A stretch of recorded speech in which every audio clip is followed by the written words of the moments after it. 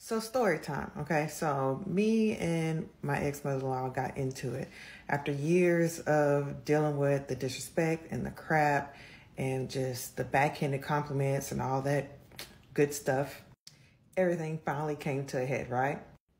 Well, after all of the issues, this woman turned and looked at me and she told me that she treated me exactly like one of her daughters if if I were her own. And I told her that can't be true because I had just had a birthday maybe a couple of weeks ago and I got no call, no card in the mail, no present, no acknowledgement whatsoever. And I told her this. And I asked her, How could you say that you treat me exactly like one of your children and my birthday comes and goes and you say absolutely nothing?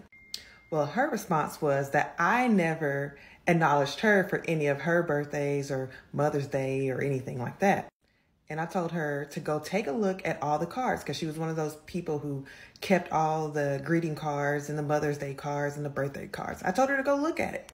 I told her to go take a really close look at those cards because I know that she knew that her son's signature and his handwriting was not on those cards. I was the one planning the gifts. I was the one sending the cards and signing them and picking them out and coordinating everything.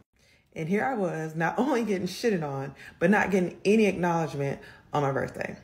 That type of stuff really makes you feel shitty, especially when you know that you are the one handling gift giving and that thing for the entire family, not just your immediate family, but mothers in laws, cousins, nieces, uncles, nephews, all that stuff. And if you don't, if there is no gift or no card, they are quick to blame you for it. It's your fault. It's never his fault.